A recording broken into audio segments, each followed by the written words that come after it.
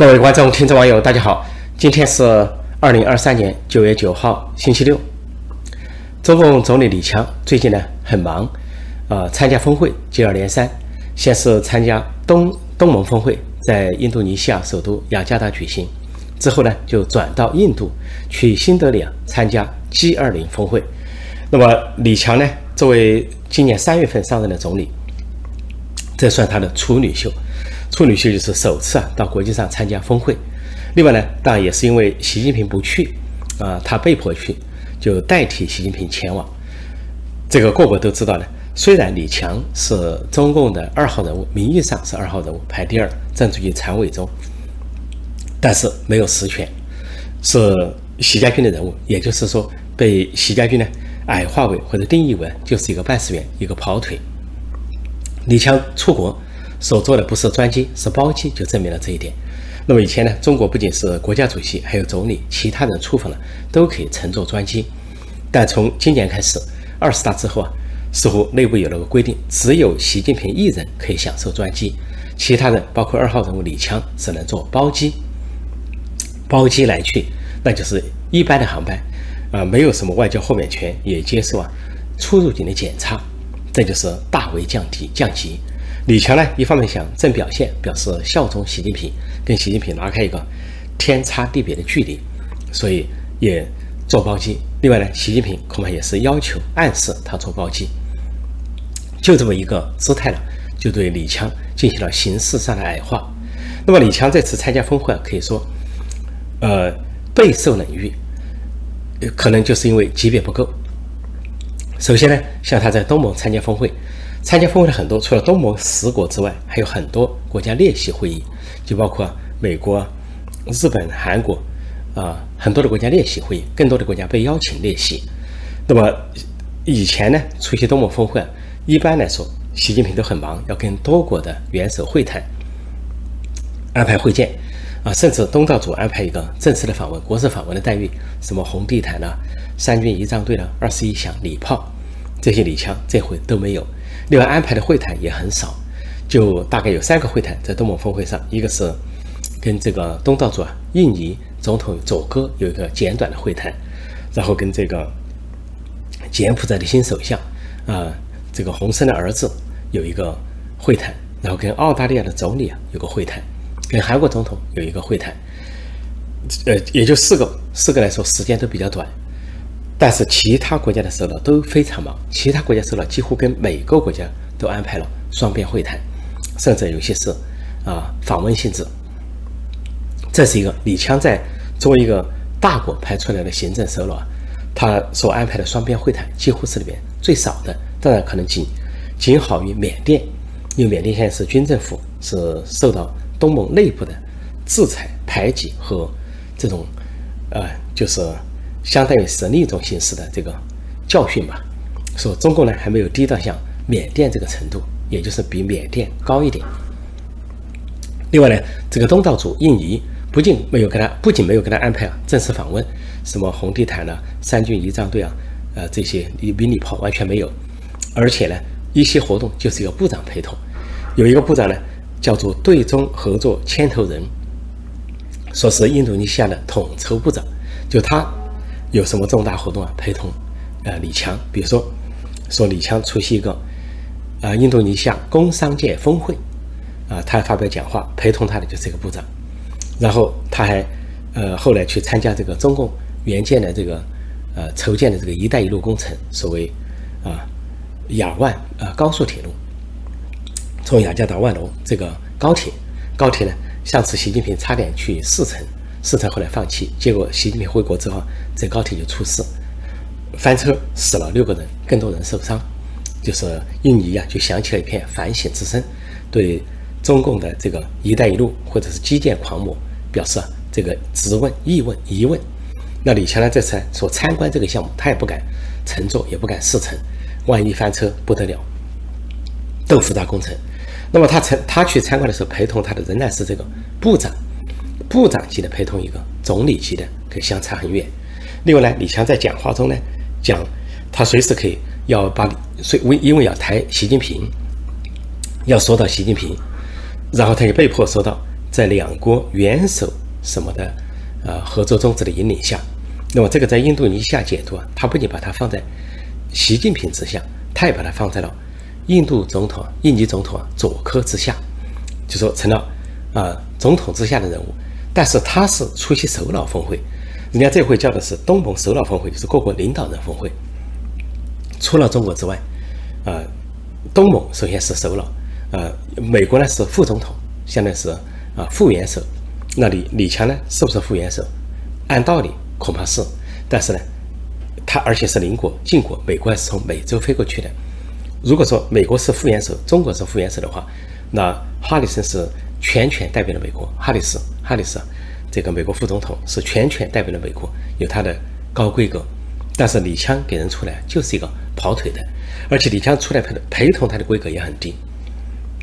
通常来说，如果习近平出访的话，参加这些峰会的话，至少有个外交部长在场。那过去外交部长是秦刚，前不久现在的外交部长是王毅，但是王毅并没有陪同李强前往。那原因是啊，可能李强王毅啊规格太高，因为王毅不仅是外交部长，同时是外事办主任，也是政治局委员。李强是政治局常委，如果由王毅去陪同呢？啊，不是，王毅首先不心甘，那是一回事。但是习近平更不心甘，习近平觉得给你陪一个政治局委员兼外交部长陪同你，你级级级别也太高了吧？不要这个级别，说李强吧，就自己去带上啊若干呢跟政治局毫无关的这样的部长前往，说这个规格是进一步的降低。总之呢，李强是主动矮化也好，是习近平要矮化他也好。是中国内部的安排也好，总之是一个矮化的出席峰会的仪式。而他在讲话中呢，他的讲话也就是低头读稿。但有人说了，说习近平不就是也是低头读稿吗？但这个低头读稿还不一样。习近平有时候低头读稿，还假装有时候张望一下啊。这个虽然是秘书给他写了稿件，艰难的读，有时候假装张望一下。但是李强呢，连张望的派头都没有，他要读稿就一读到底。因为他感受到自己级别不够，重量不够，而且周围啊都是敌意的眼光。因为这个稿件也恐怕不符合李强的心愿，都是人家这个习近平的班长塞到他手里的稿子，读的都是怎么称赞习近平呢？啊，这个引领呢，指引方向呢，或者就是重复中共的一些词语，什么在南海要跟南海周边国家去商讨什么南海行为宣言，这个一听的都是很虚伪的，一边去侵略。呃，菲律宾去这个霸凌印度尼西亚和马来西亚和越南，但另一方面却在说什么南海和平宣言，还说的是什么？呃，重复一些词，什么反对脱钩啊，反对断炼啊等等。周围人听了都完全不相信，不仅是不相信啊，呃，都觉得你就是读个稿子，把中共的话重复一遍，甚至你不读稿，周围人都知道你要说什么，你读不读都无所谓。你哪怕这次去李强坐在那里。沉默，打个仰鼻，什么都不说，人家也知道你究竟要说什么，是吧？不如不读，读稿等于不读，说这样的话就更加降低他的身份，但他可能也比较紧张，反正就是读稿。呃，另外呢，除了这个读稿之外，啊，李强究竟有没有什么长处在这个会上显示？他跟习近平相比啊，这个重量级不够，啊，这个权位不够，呃，但有人说这个反正是专制国家嘛。是习近平也好，李强也好，这个说的话大家都觉得是谎言，也无所谓。这个话不错，但是呢，至少呢，人家觉得李习近平呢是啊，在一党独裁、一人独裁之后啊，有他的话事权，他能够拍板，所以呢，其他各国的首脑还要看重跟他交谈几句或者握个手什么的。但是李强的话，人家知道你无法拍板，你不能决定任何事，派一个。总理李强呢，就跟派一个习近平的秘书来一样，读稿而已。你所代表的就是习近平的声音而已，所以你并不能够做任何决定和拍板，也不能够突出的有什么啊推进的事情。说这个不一样，说这个重量级就不一样。虽然说都在那里读稿，都在那里读谎言，但是大家觉得你有没有拍板权，这个还是一个不同的观感，不同的感受。那李强比习近平超出的是什么呢？有两点，我觉得第一个呢，他显得比较。健康一点，啊，显得这个走起路来比较轻松一些，呃，步子比较快一些。跟习近平相比呢，习近平显得比较自重、比较缓慢，似乎健康有某种问题，或者有这个中风啊、中风后遗症等等。但李强呢，没有显示出这个问题，因为李强是一九五九年出生，当时为了跟团派搞权力斗争，都说要下一面培养六零后，但李强不是六零后，就发明了一个词，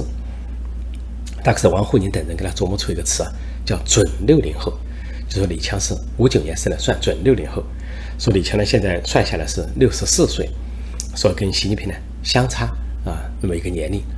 相差大概个六岁吧，说显得稍微年轻一点。说布置呢也显得轻松一点，就不至于啊让人很担心会不会摔倒了，会不会啊这个就地打滚呢？会不会又进入一个急救状态？比如缺席会议一天，本来会议啊多么峰会也就是个两天，到印度去参加 G20 峰会也就是个两天。如果你在病倒一天、消失一天，那就目标太大了。说大概这也是这回啊有李强出征而不是习近平的原因，因为习近平的南风金南风南非啊金砖峰会上消失一天。已经引起了世界的一片哗然，一片的议论纷纷。说李强呢，现在看来似乎不存在这个问题。另外呢，李强还有一个优势呢，跟习近平相比呢，李强有时候还能够打一点笑容，尽管比较勉强啊，跟人握手的时候还有点笑容。但是习近平呢是很艰难，呃，哪怕是跟人交谈、跟人握手啊，表情都非常的严肃啊，甚至是显得愁容满面。呃，甚至交谈以他为中心的时候，像南非有一个镜头，长边交谈。啊，翻译在旁边翻译，似乎都围着习近平在交谈，其他受了不太说话。但习近平的表情呢，非常沉重，愁容满面，心事重重，很严肃，挤不出一点笑容。这一点呢，跟李强相比呢，似乎李强又有一点优势。所以说，李强是一无是处也倒不是，他还是有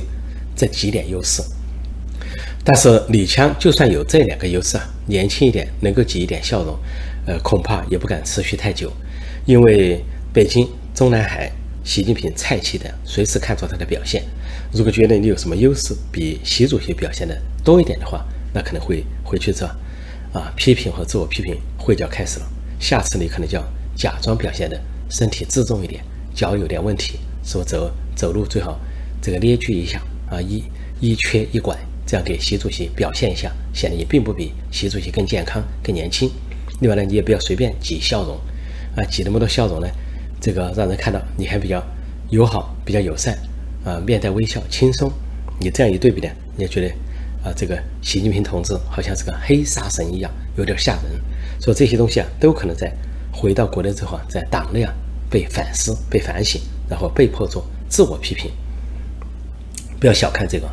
可能有人听起来说是天方夜谭。当年毛泽东跟周恩来搭档，周恩来已经是可以说位高权重了，已经是声望从容，在国际上有。享有声望，但是呢，后来这个毛泽东跟周恩来商量要打开中美关系啊，这个很多会谈就是周恩来主持的，跟基辛格、跟尼克松啊会谈。但是呢，后来毛泽东居然要政治局江青牵头批判周恩来，说在对美谈判中犯了右倾机会主义的错误啊，对美国过于友好等等，找理由鸡蛋里挑骨头来批周恩来，批周恩来主要是让周恩来身体垮掉，让他的这个。体力不支，心力交瘁，那最好尽可能走在毛泽东前面。都知道不行了，所以周恩来都能够享受那样的内部批评，他被迫做自我批评，满头大汗，行销鼓励啊，服务员不断的给他换毛巾，周恩来都会享受那样的虐待，还不要说是李强，如果是被党内批评的话，蔡奇带头发难啊，你在外面出风头啊，这个。啊，装帅啊，显得自己好像很健康、很轻松、很友好，怎么怎么，这些都有可能摆出来。反正现在是文革二点零版，毛时代二点零版，想重复一下，说重复这样的党内啊、党内斗争的这种戏码，外界看来非常荒唐可笑，但党内啊，他就那么回事，就是啊，小孩子过家家，啊，外面以为很正经啊，正襟危坐，关起门来，他们就是小孩子过家家，甚至有时候就是大吵大闹。呃，有没有大打出手呢？有时候也有可能。但李强打架那肯定是要吃亏的，个子小啊，除非是板凳横飞啊，桌椅横飞，他能够占点便宜。又呃，这个个子小，往地上一蹲，可能这个椅子飞来飞去啊，打中的是要么是蔡奇高个子啊，要么是习近平宽背，那他自己啊往桌子下一猫，也许能够躲过一劫啊，躲过一些啊攻击吧。说李强现在到了印度。印度呢开 G20 峰会，呃，这个终于走了红地毯。为什么呢？因为 G20 峰会啊，所有各国首脑都有个那里都要经过这个红地毯去跟印度总理莫迪啊莫迪握手。那这个李强走了很久，终于走到莫迪前面，握了个手，似乎想跟微笑跟莫迪交谈一下。但莫迪也微笑了一下，马上给他示意啊，叫他赶紧往前走，因为莫迪还要接待下一个领导人呢，没有时间跟你交谈。所以这个李强也会错了意，以为握手还要交谈一下，其实我手机照个相，你赶紧走啊，等下一位。这李强的部分。另外呢，这个呃，中国有一个歌手，歌手啊，女歌手啊，说是有人说是五毛歌手，有人说是美女歌手，曾经争过啊，啊，中央电视台的春晚，叫王芳。那么她呢，跑到这个乌克兰被占领土去大出风头，居然唱苏联歌《卡秋莎》。而就在一个战争的废墟上，剧院的废墟上，这个是怎么回事呢？说是俄罗斯方面组织了一个，呃，相当于是中国的直播组或者艺术家组成一个团去参观他们的占领地区，叫做顿涅茨克共和国。那顿涅茨克那个地方有个城市叫马里乌波尔，是去年俄罗斯开战以来啊，侵略战争发动以来，被这个乌克兰被打得最惨烈的一战——马里乌波尔之战。当时俄罗斯啊是对这个城市啊狂轰滥炸，把这个城市几乎夷为平地，大量的人逃亡。那后来有个亚速营呢在那里死守啊，到了钢厂地下室死守，这个大概是这个持续了三到六个月吧，俄罗斯才拿下马里乌波尔。其中一个俄罗斯最大的罪恶呢，就是炸马里乌波尔的剧场。这个剧场当时是呃当地的乌克兰人的避难所。是儿童妇女的避难所，而楼上就写明了“儿童”两个字，就叫提示啊战争行为不要这个轰炸这个剧院。就俄罗斯就轰炸这个剧院，这个剧院轰炸成一片废墟之后啊，六百人死亡，其中大部分是儿童，其他是妇女老幼。这个是俄罗斯侵略军犯下的严重罪行，而且俄罗斯在攻打马里乌波尔的时候使用了温压弹，温压弹是一下投下来，范围非常大。说五百公斤重的炸药炸毁了这个剧场。由于俄罗斯使用温压弹，就相当于是极速炸弹，这就是为什么后来美国批准极速炸弹援助乌克兰的原因。因为俄罗斯有单方面的武器优势，温压弹一爆炸之后，方圆多少多少里啊，都是把这个人数啊全部的击杀啊，房屋全部的摧毁，相当于是小型的核弹。所以乌克兰最后呢，就能就美国批准他拥有极速弹，尽管呢。呃，其他一些盟国可能不太同意，但是面对俄罗斯这个温压弹呢，没有别的选择，所以乌克兰拥有极速炸弹，算是对俄罗斯的一个啊回敬吧。那就在这个地方，马里乌波尔这个剧场的废墟上，中共这些人所谓直播组啊，小粉红、老粉红组成的，到了这个王芳就站在这个废墟上啊，在二楼直播自己唱歌，唱这个卡秋莎。他是站在俄罗斯立场上，站在苏联立场上，但是对乌克兰是可以说是用用这个伤口上撒盐都太轻了，那简直就是为侵略者唱战歌，在被占领土上唱法西斯的歌，激起了乌克兰的抗议。乌克兰的呃政府新闻发言人痛斥这种行为是无耻，是为侵略者站台，是对乌克兰人民的严重的冒犯。这个卡秋莎这歌怎么回事呢？中国人很多人能唱，因为中国当时啊在毛泽东时代苏联化，引进了很多苏联歌。当时中国差点成为苏联的一部分。最早建立的政权叫中华苏维埃共和国，在江西。后来被国军包围切割之后，没法去投靠苏联，后来逃到陕北了，背靠苏联，也想成为苏联的一部分。后来好在没有成为苏联的一部分，在势力范围成苏联的一部分，但是国家相对还比较独立。那是后来，后来的时候。那么，但是苏联的东西完全影响了中国，歌曲啊，啊这些歌舞啊，还有啊服装啊，什么列宁装啊，在中国非常风行。其中就是《卡秋莎》这首歌在中国风风行，说中国上两代人人人能唱，唱的是中文。这次这个王芳就用中文唱了《卡秋莎》，但他不懂历史。这《卡秋莎》怎么来的呢？是当时一九三八年的时候啊，日本占领了中国的东北，叫满洲。这是日本的势力范围。虽然说溥仪是呃这个满洲国的首领，末代皇帝是满清的发祥地。另外呢，苏联呢就控制蒙古，包括内蒙古、外蒙古、内蒙古，控制是苏联的势力范围。这两个呢就经常有代理人的战争。就如果是蒙古国跟满洲国发生冲突的话，那满洲国代理满洲国出战的是日军，如果蒙古国那边代理的是苏联，说苏联军跟日军呢就会有交战，有时候互有胜败。但是，一九三八年呢，有一个叫图们江战役呢，在这个战役中，苏军取胜，日军落败，这非常罕见的落败，都是在都在中国的土地上举行的战争，中国备战领土上发生的战争。结果，苏联的作曲家就做了一首歌，叫《卡秋莎》，奉行苏联啊，斯大林时代庆祝胜利，因为他们在历史上跟日本打仗是呃败多胜少，尤其一九零四年的日俄战争呢，当时世界都估计啊。当时的俄国是一个大国，日本是个小国，肯定俄国取胜。结果也是在中国领土上进行，结果日军把国军打得一败涂地，被迫的割地求和，割地也都是割中国的地。当时就在辽东半岛、山东半岛开展的战争。当时还是满清政府，满清政府真的眼睁睁地看着日俄两国在自己的领土上发生战争。一九零四年还宣布保持中立，在自己领土发生战争保持中立，结果是没想到俄军战败，日军战胜。后来俄军就把他占领的山东半岛、辽东半岛这些势力范围交给了日军。到了一九三八年啊，这个二战前夕，呃，苏联好不容易取了一个小战役的胜利，也是在中国领土上图们江这一带，然后就诞生了这首歌。这首歌就被称为苏联第二国歌或者俄罗斯第二国歌。比如说，最近几年俄罗斯的这个运动员呢，他不能出席奥运会，因为索契冬奥会的举行的时候啊，在苏在俄罗斯举行的时候，他们呢用兴奋剂作弊。啊，多数的球员都有兴兴奋剂，被国国际奥委会察觉，就禁赛。俄罗斯不能够出席奥运会。说俄罗斯出席奥运会呢，就以运动员个人的名义，比如说在中国北京举行的冬奥会啊，他就个人名义进场。进场的时候就不能奏俄罗斯的国歌，奏的什么呢？就是卡秋莎，就是俄罗斯的第二国歌。因为运动员个人身份参加，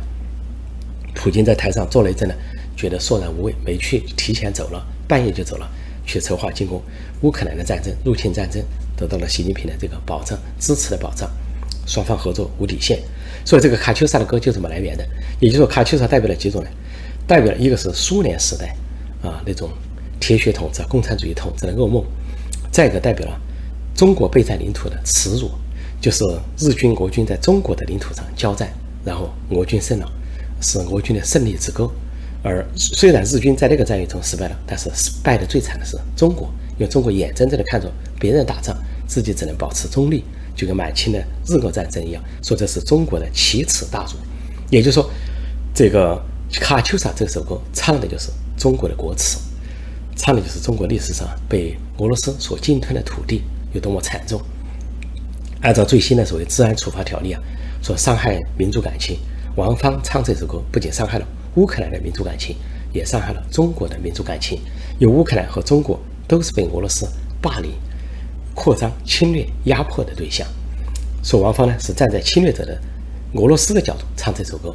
在伤害乌克兰同时伤害中国，那是什么呢？就是中国人所定义的汉奸、卖国贼，这就是王芳所承担的角色。所以受到乌克兰的抗议倒也罢了，按道理应该受到中国朝野的声讨和抗议。但是小粉和老粉却是一片赞扬之声，觉得他站在占领